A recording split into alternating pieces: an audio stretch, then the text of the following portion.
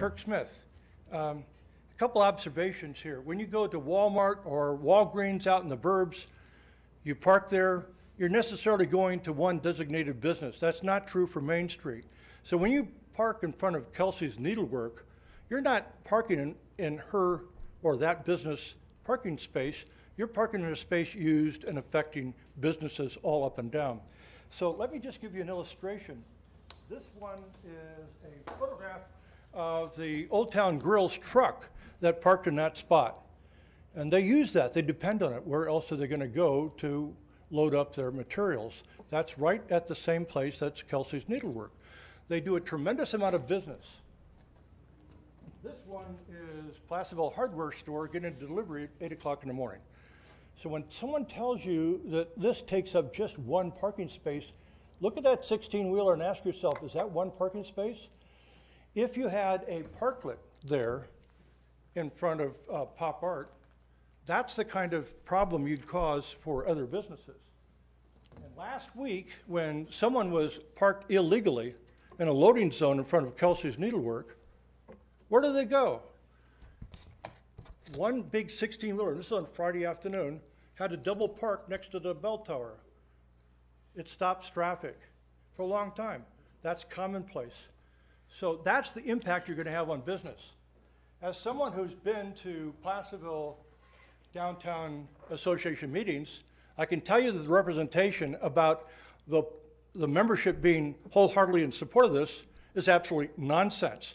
First of all, there has never been a call for what is your response? And in fact, in February at the executive committee meeting, several members were asked, would you put this on the calendar by one of the officers for discussion among the members? And the answer was, no, it's been decided. In addition, um, we had two meetings ago, a member put up her hands and say, let's have a show of hands of how many merchants are here. At the end of the meeting, there were six. As Dave can tell you, there's 270 plus merchants on Main Street who are members of that association. So the people who show up there is a tiny fraction. While there was a presentation about the number of, of uh, uh, where the spaces would be given at another meeting of the uh, uh, advisory committee for economic development, there was never one about specifically where this would go. So when, so when the people at the Creekside say it's fine with them, fine, but you're gonna cause adverse impact to them. At the, uh, Pierre gave a summary, but I wanna show you just, this is a summary of some of the statements I had prepared from the planning commission members, where they were extraordinary intense, saying, one, to avoid the adverse impact on businesses, it should be moved around during that four months. And under the temporary use permit, you, if you're an affected business, have a chance to make an appeal. Could you realistically get an appeal in four months? No. So those are the reasons why, and, and, and we were already told by one city council member four months ago the decision had been made.